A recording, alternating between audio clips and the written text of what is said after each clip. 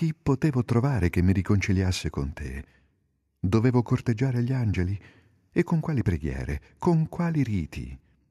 Mi dicono che molti, nel tentativo di ritornare a te, non riuscendovi da soli, provarono questa via e caddero nella mania delle apparizioni fantasiose, diventando dei visionari, degli esaltati che ti cercavano con l'orgoglio della scienza, gonfiandosi il petto anziché batterselo, che attiravano a sé a somiglianza del loro animo le potenze dell'aria complici e alleate della loro superbia e si lasciavano ingannare dalle arti magiche cercavano un mediatore che li purificasse, ma non era lui, era il diavolo, trasfigurato in un angelo luminoso che, non essendo fatto di carne, riuscì a penetrare in profondità dentro di loro.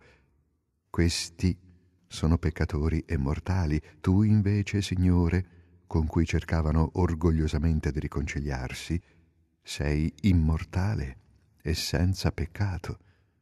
Il mediatore fra Dio e gli uomini doveva rassomigliare in qualche cosa a Dio e in qualche cosa agli uomini. Troppo simile agli uomini sarebbe stato lontano da Dio, troppo simile a Dio sarebbe stato lontano dagli uomini e così non sarebbe stato un mediatore.